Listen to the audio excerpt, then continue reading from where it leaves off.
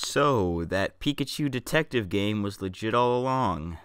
Guess it's time to do some detective work. Oh, who cares? Just cue the intro.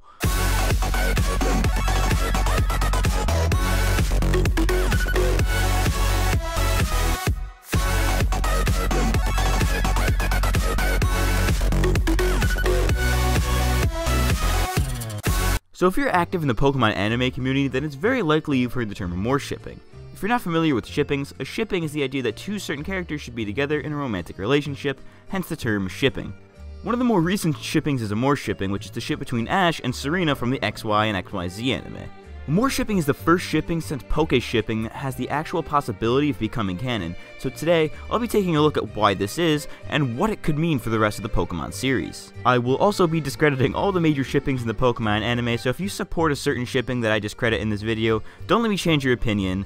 Power to you and whoever you ship, and with that, let's get started. One of the things that sets Amour shipping apart from other shippings is that other female protagonists in previous seasons have moved on from Ash even if they possibly did have feelings for him. Let's start with Iris. There's very little evidence to the ship known as Negai shipping, so it's pretty easy to disprove it, but like I said in the beginning of the video, if you ship Ash and Iris, then power to you. Moving on to advanced shipping, which is the ship between Ash and May, there's one thing that basically disproves the whole thing, and that is May's attraction to Drew.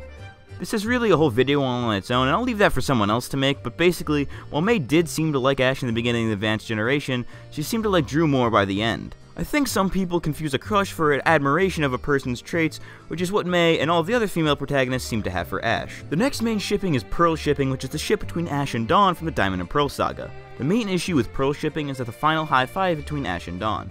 While it was a good way to end off the Gen 4 anime, as well as symbolize the friendship between the two, it doesn't exactly symbolize a relationship, at least in Western culture. I couldn't find anything that said high fives mean anything different in Japan, so I could be wrong here, but this whole video could be wrong, so whatever. Alright, fine. Now it's time to address the Donphan in the room, Poke shipping. I don't really have any evidence against this because there really isn't any. Poke shipping was very likely to be canon while Misty was still in the anime, but as Pokemon's popularity grew, they had to continue the series and wanted a completely fresh start for Ash going into Hoenn, so they had to get rid of Misty. This all ties back into Amour shipping in that Serena is the first character since Misty to show an obvious crush for Ash. I won't name every piece of evidence because we'd be here all day, so I'll leave most of that to other YouTubers and Bulbapedia. However, there are two things I want to address regarding Amour shipping. One of the first major pieces of evidence to Amour shipping that sets it apart from other shippings is that Ash and Serena actually knew each other a long time ago. So technically, if you think about it, Ash and Serena have known each other for longer than any of the other female protagonists. They met when they were very young at Professor Oak's Pokemon Summer Camp when Serena hurt her leg and Ash found her while chasing a Poliwag. This supports the shipping because Ash helping Serena caused Serena to develop something called superhero syndrome. Urban Dictionary, and yes, I had to use Urban Dictionary because it's not exactly a recognized medical disorder, defines superhero syndrome as when somebody falls in love or crushes on somebody who is just being nice in their time of need because they have just gotten out of or recovered from a past relationship. This can be applied to Serena in certain aspects. Assuming they were probably about 5 years old when they first met, it's not very likely that Serena got out of a relationship recently. However, before she hurts her leg, she is lost and seems scared, and when she does hurt her leg, she calls out for her mother. Being scared as a little kid and getting out of a relationship seem to be equally as stressful, so this could easily substitute for getting out of a relationship aspect, but I'm not exactly a dating expert. As for the rest of the definition, it's pretty self-explanatory.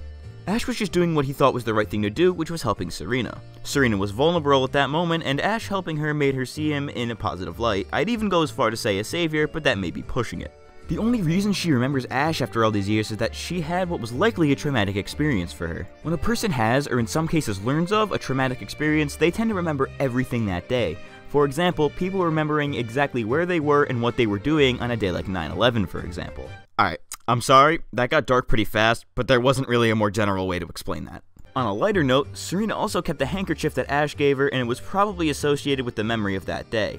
When people bring up the idea of Ash and Serena having previous interactions when trying to support Amour shipping, it's usually discredited pretty quick, but with this new information that I don't think anybody else has brought up, Amour shipping supporters can say that there's at least a science behind it. Moving on to that other thing I mentioned earlier, this may be the end for Ash's journey. Now, I personally don't think this is so because they've built Ash up for 20 years and there's really no reason to fix what ain't broke and there's no reason to stop now. Opinions aside, some YouTubers, namely KG Prestige and Birdkeeper Toby, have theorized that Amour shipping may be the perfect way to end off the anime. The main point here is that Serena and Ash might be able to complete their goals of being Kalos Queen and a Pokemon Master respectively, and would have to stay in the Kalos region. Another potential storyline that makes sense is that Serena might become Kalos Queen while Ash doesn't win the Kalos League, and there could be a whole arc dedicated to Ash being conflicted between leaving Kalos to continue his journey, or to stay in Kalos with Serena. However, it's been noted that Ash had feelings for Misty and might have feelings for Serena, so if Ash left one, why wouldn't he leave the other? My own personal theory is that there will be a storyline in which they both lose.